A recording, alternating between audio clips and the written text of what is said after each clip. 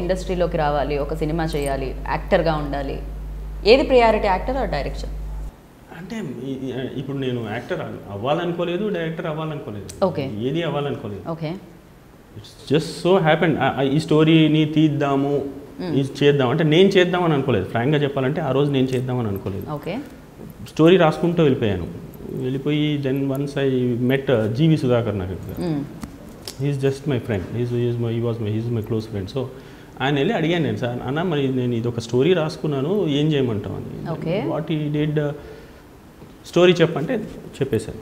చెప్పేసిన తర్వాత బాగుంది. మరి ఎట్లా అంటే బాగుంది మోహన్ ఎట్లా ఎట్లా అంటే then he said they are two procedures here story బాగుంది కాబట్టి you can go to some producers and ask them correct అవును. నువ్వు వెళ్ళు వెళ్ళి ఈ స్టోరీ చెప్పు బాగుంది. They might they might accept it right then you can go head with the story అంటే ఇప్పుడు స్టోరీ అంటే ఇంత సీరియస్ స్టోరీ తీసుకోవాల్సిన అవసరం ఏముంది? అవును. ఇప్పుడు డాక్టర్గా ఫస్ట్ డెబ్యూ ఫిలిం అయినా.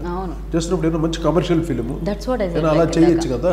అలా చేయకుండా ఈ ఇంత సబ్జెక్టు ఒక మంచి ఒక అంటే ఒక మెసేజ్ అదొక నచ్చిన. పాయింట్ సార్ ఆ పాయింట్ చూపిద్దాము. ప్రజలకి ఈ పాయింట్ చిన్నప్పటి నుంచి అది ఉండిపోయింది మేబీ మీ గ్రాండ్ ఫాదర్ మంచి స్టోరీ టెల్లర్ అయి ఉంటారు. ఆయన చాలా స్ట్రాంగ్గా చెప్పారు. అది గుర్తుంది అంటే. ఆయన చాలా బాగా చెప్పుండాలి దాన్ని ఖచ్చితంగా. అంటే అంత ఇంపాక్ట్ క్రియేట్ చేసి ఉండాలి చెప్పేటప్పుడు. మీ చిన్న వయసులోనే అంత ఇంపాక్ట్ వచ్చింది అంటే దాని మీద. సో ఆయన ఏమన్నారంటే నువ్వు వెళ్ళి చెప్పు అందరికి అందరికి చెప్పు సమన్ బట్ మోహన్ దెన్ మళ్ళీ హీ యాడెడ్ వన్ థింగ్. ఇలా చాలామంది ఉన్నారు. నువ్వు ఈ స్టోరీ ఎవరో యాక్సెప్ట్ అయ్యి చేసేటప్పటికి కష్టం అది నాట్ పాసిబుల్ కానీ స్టోరీ బాగుంది then you think of it okay then I told let start. It went on like that okay. Let us start అనుకున్నాం. దెన్ అక్కడ నుంచి స్టార్ట్ అయింది. రైట్ సో నిజంగానే ఇప్పుడు వేరే ప్రొడ్యూసర్ దగ్గరికి వెళ్తే చాలా వరకు. అంటే మేబీ స్టోరీలో కాంప్రమైజెస్ అవ్వాల్సి వస్తుంది అండ్ రకరకాలు ఉంటాయి. ఎప్పుడు వెళ్తుందో పట్టాల మీద తెలియదు అది అవుతుందో అవ్వదో కూడా తెలియదు రైట్ నువ్వు చెప్పాలనుకుంటే ప్రేక్షకుల మధ్యలో రాకపోవచ్చు. బట్ యా అంటే ఎక్స్పీరియన్స్ లేకుండా టచ్ చేసినప్పుడు పాయింట్ని డైరెక్షన్ అనేది ఎక్స్పీరియన్స్ లేదు ఖచ్చితంంగా మీకైతే. సో దానికి కూడా that was again the same thing అండి. Then I didn't want to direct it frankly స్టార్టింగ్లో I didn't want to direct it I talk అంటే ఒక ఇద్దరు ముగ్గురు డైరెక్టర్స్తో మాట్లాడాను అండి. మాట్లాడినప్పుడు the way they explain the scenes that was not I was thinking అంటే ఫర్ ఎగ్జాంపుల్ ఒక అంటే I don't want to tell their names but ఒక డైరెక్టర్ ఏంటంటే టైర్ మధ్యలో పిల్లోని అంటే ఒక పిల్లోని కొట్టే సీన్ ఉంటుంది. టైర్ మధ్యలో పిల్లోని పెట్టి కొడద కొ- వెనకాల కొడదాము కొట్టాలి కొడతాడు అని అనేసరికి నాకు అది ఎక్కలేదు. అంటే ఇట్ వాస్ నాట్ ఒక్కొక్క స్టైల్ ఒక్కొక్కరిది ఉంటుంది ఖచ్చితంగా యా అంటే ఒక్కొక్కళ్ళ థింకింగ్. డెఫినెట్గా ఇది మీ దగ్గర నుంచి వచ్చింది స్టోరీ కాబట్టి మీకు ఇంకా ఫ్లెక్సిబుల్ అయి ఉంటుంది.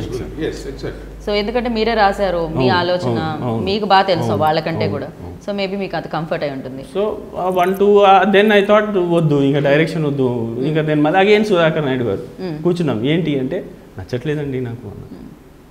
నాకు నచ్చట్లేదండి. నాకు వాళ్ళు చెప్పేది నచ్చట్లేదు. అంటే ఆయన "ఈ ఏం చేద్దాం? ఇది కూడా నేనే చేస్తాను హ్యాపెండ్ అండి. అనుకోలేదు. హ్యాపెండ్ చాలా- చేశాడు? అండ్ చాలా క్రాఫ్ట్స్ని మెయింటైన్ చేయాల్సి వస్తుంది కదా ఖచ్చితంగా. డైరెక్టర్ అంటే have to take care camera గురించి. డిఓపి ఇంపార్టెంట్ సార్ చాలా చక్కగా చేశాడు చాలా చక్కగా చేశాడు. సినిమాలో చాలా బాగుంది.